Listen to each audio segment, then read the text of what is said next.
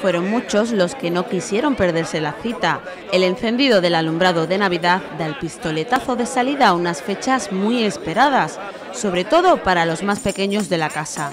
Y es que tanto Papá Noel como sus majestades de Oriente están a la vuelta de la esquina.